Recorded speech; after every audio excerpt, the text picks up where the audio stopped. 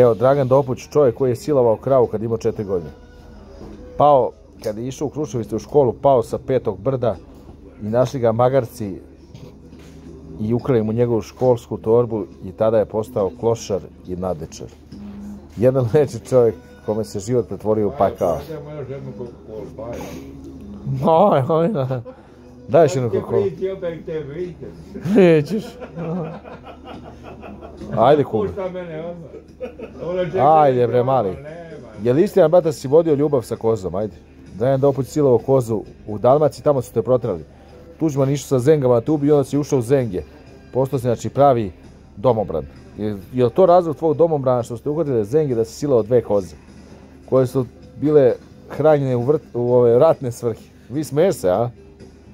Da moguće si silovo kozu, bre? Ne ozbiljno te pitam sad. Alo?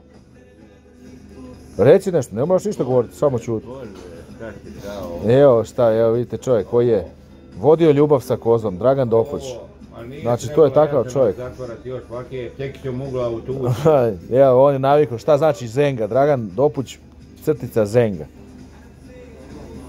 To što si radio tvoju mržnju si došao ovdje, ovdje si ubačeni element. Svi znamo dobro ko si i šta si i šta si radio. Da si krao po kućama i otimao. Krao Zdenka sireve, džemiće.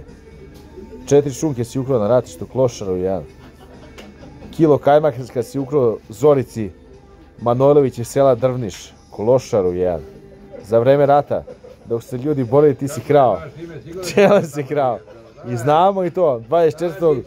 marta 94. godine, kad je bila oluja, ljudima si bušio gume na traktoru i uzimao si deci sendviče iz knjige, klošaru jedan. Ratni profiter. Pa jes, ti si ratni profiter. Ti si ratni profiter. Da, da, da, ratni profiter. Otimo si od žene. A što si uzeo Rujevoj, Mirković iz Benkovca, što si ukrao dve tegle džema. Klošaru jamre. 24. aprila 93. godine. Kada su je Zengi, kad se predstavio kao Zenga, uzeo je džem i pobegao. Kako te bre nije sramota bre. Smeješ se, sad ćutiš kao zaliven, sad nemaš šta da kažeš. Sad šta je ti za džabe, jesi provaljen? Šta je ti za džabe? A? Jebo mamo svoje. Kako je to odvratna faca, to je nemoguće. Ratni profiter i čovjek koji je silovao koze, to je Dragan Dopuć, eto.